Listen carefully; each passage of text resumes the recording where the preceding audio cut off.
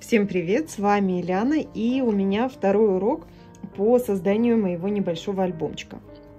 Итак, вы видите, что у меня уже появились странички э, из картона, в данном случае переплетного. Я сделала обложки, три странички, поскольку у меня 4 разворота, то нам нужно три странички и два форзаца. Для чего нам нужны форзацы? Мне нравится, когда обложка у альбома достаточно жесткая.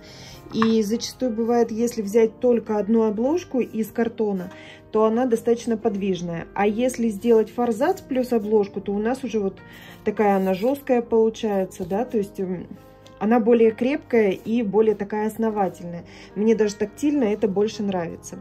Форзацы и странички я в данном альбоме решила по краям обвернуть замшей. Вот такой вот очень глубокий синий цвет. Он мне подходит по цветовой гамме к альбому. Четыре странички уже обвернула. И сейчас вместе с вами сделаю последнюю пятую форзац. Точно так же обверну вот этой лентой. Для альбома мне понадобится еще ткань. Значит, я сделала вот такую подборочку. Здесь две замши. Их я буду использовать на обложке.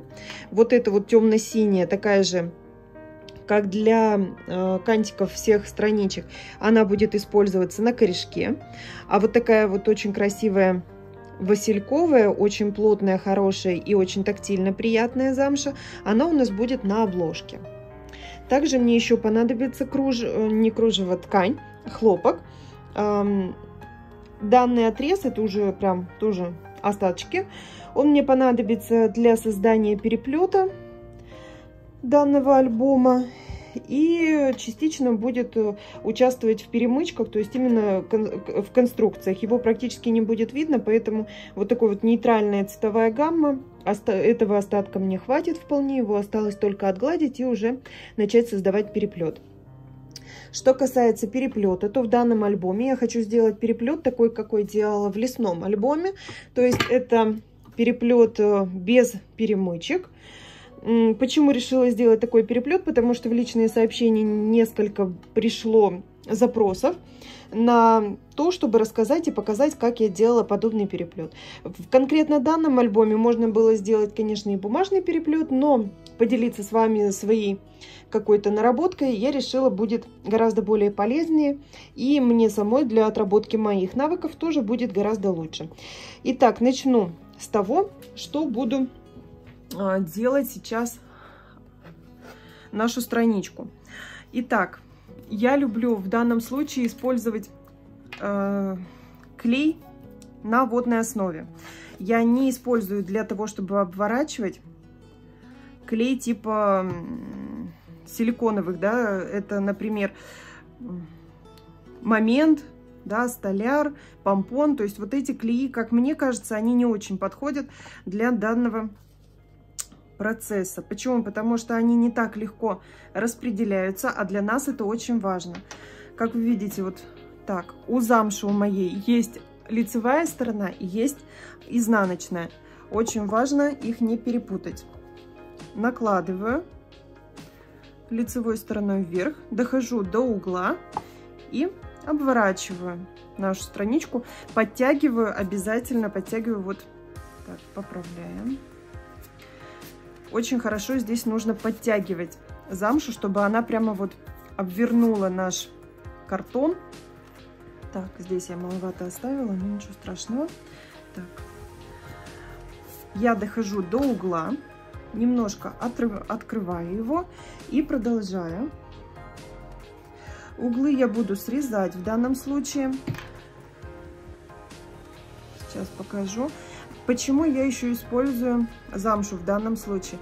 А, мне очень нравится, как замша тактильно приятно, когда берет, берет а, человек альбом в руки. Я периодически по-разному обворачиваю корешки, вот такие э, торцы страниц. Я использовала и хлопок, и киперную ленту, но тем не менее именно замша, мне кажется, наиболее тактильно приятно в этом случае. Точно так же обвернули. И вот тут вот ноготками формируем очень плотно, хорошо вот такой вот язычок, который мы будем срезать ножницами. Нам очень важно его хорошо подтянуть и прям вот так вот, чтобы тканюшка там соединилась внутри, чтобы не было никаких зазоров, никаких трещинок. Продолжаем. Процесс этот на самом деле очень быстрый,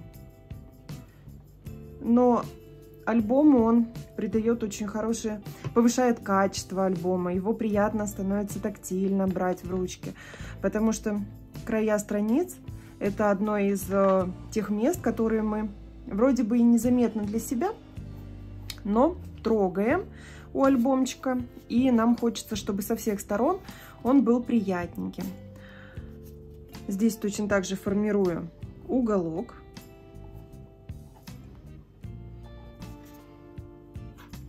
Так. так, теперь срезаю.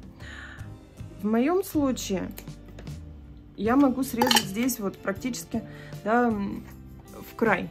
То есть я делаю буквально пол миллиметрика здесь. Вот такой вот отступ с двух сторон. Для чего? Для того, чтобы просто запечатать верх вот этой странички. Тут я маловато оставила. Ну, ничего страшного. А вот.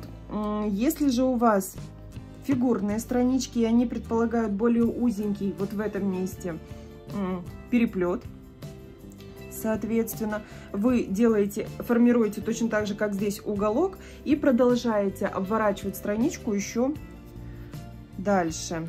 То есть вы формируете таким образом уже 4 угла, а не 2, как я. В моем случае у меня будет полный переплет, то есть этот, это место будет также защищено еще и капталом. И поэтому мне достаточно просто запечатать. То есть вот это то, как раз, что я сейчас делаю. Так, вторую часть.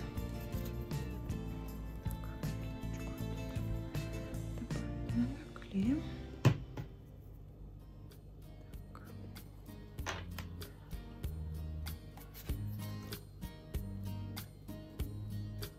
Опять же, помогаете ноготками. Излишек срезаете острыми ножницами.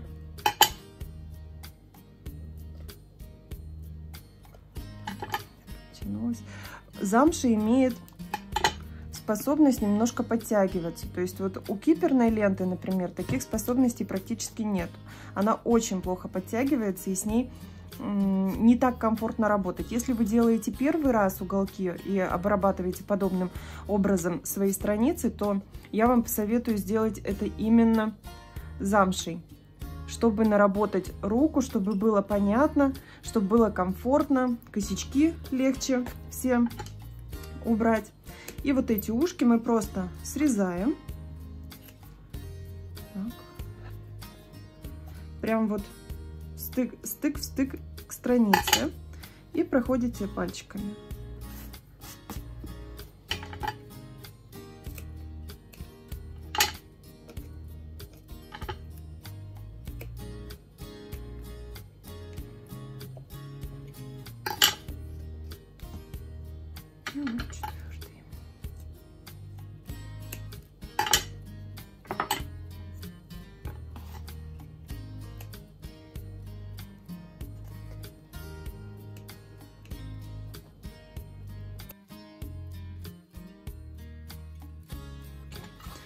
Не приклеились, да и лишние.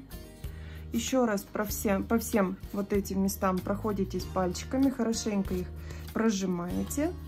И получается у вас вот такая красивая страничка, полностью уже обвернутая. Вот такие вот идеальные уголочки у вас получаются. Здесь мы запечатали и картонки не видно. То есть наша страничка защищена со всех сторон. Все, мои форзацы, странички, все готово пора переходить к переплету. Чтобы определить ширину корешка, между картонными страницами располагаю свои готовые развороты и считаю по линеечке высоту своего альбома.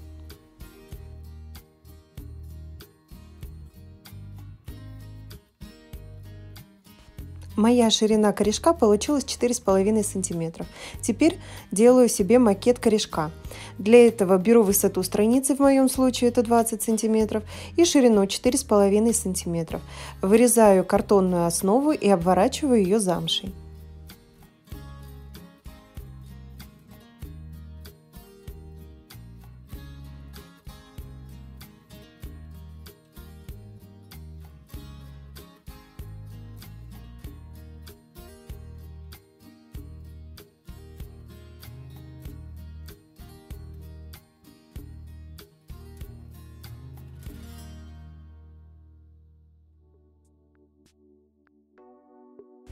Когда я работаю с тканью и бумагой, я в основном использую клей-карандаш.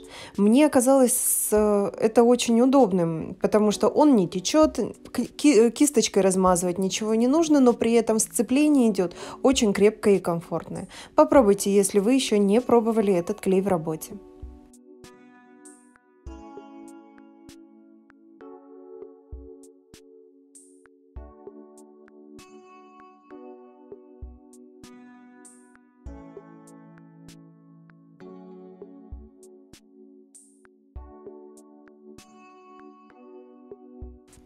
Формирую отрез ткани, на который будет крепиться мой корешок. По высоте он чуть меньше, чем 20 см, по паре миллиметров с каждой стороны, то есть достаточно 19,5 мм. Из этого же куска ткани я отмеряю себе несколько тканевых полосок. Они небольшие, шириной 3-4 см. На них будет крепиться в будущем мои странички мой альбом на 4 разворота, и внутренних страниц у меня всего 3. Соответственно, таких отрезов узеньких мне нужно 3 штуки на мой альбом.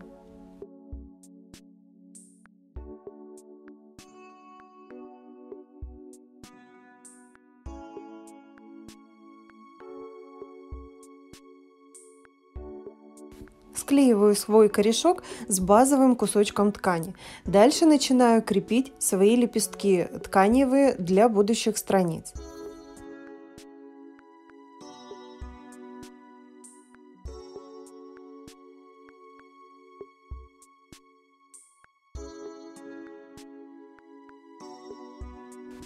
Тканевые полоски будут пришиваться непосредственно к корешку. И чтобы строчки были проложены очень ровно, на каждой полосе я прокладываю себе набросок просто по линейке, карандашиком, там, где мне нужно будет проложить строчку машинкой. Вот таким образом друг за другом я буду пришивать сюда полоски к корешочку. Но первым делом я прокладываю боковые швы по основному лоскуту ткани. Теперь формирую каптал по краям моего лоскуточка. Это буквально небольшие отрезы киперные или обычные принтованные ленты по краям. И дальше к центральной части корешка уже пришиваю свои тканевые полоски пришиваю ткань друг за другом. Вот так это выглядит с обратной стороны, очень красиво и аккуратно. А ниточки я планирую выводить внутреннюю часть, где будет э, располагаться сама страничка. Таким образом, хвостики ниток не будут заметны при переплете.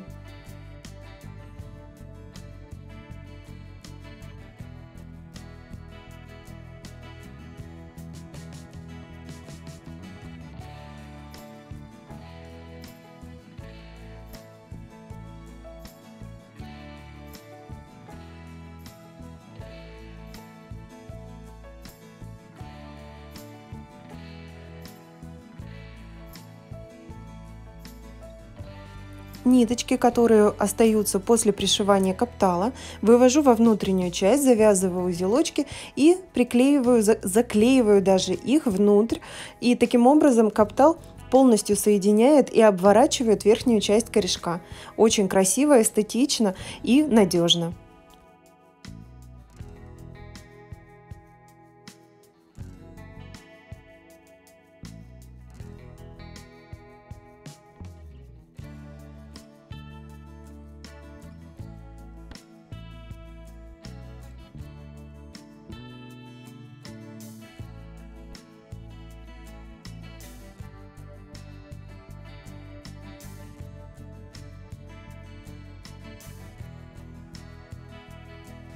Мой корешок полностью готов и можно вклеивать страницы и форзацы.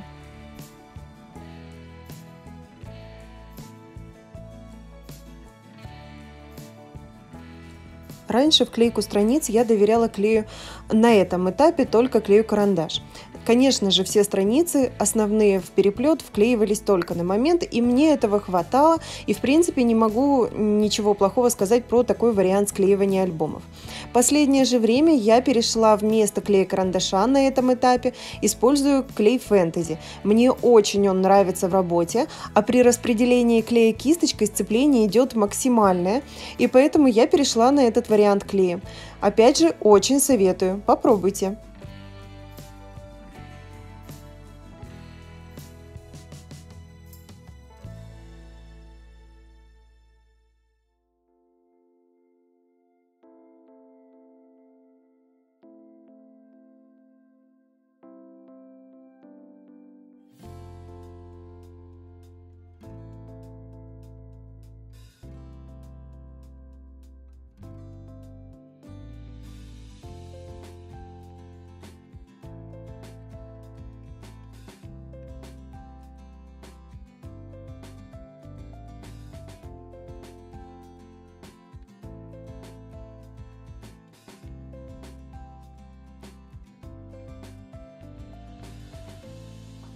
Мой переплет полностью готов, даю ему хорошо просохнуть. Обязательно перед вклейкой страниц проверяю еще раз, чтобы все подходило. Выкладываю все свои развороты в получившийся переплет и смотрю, чтобы у него не было излишнего раскрытия.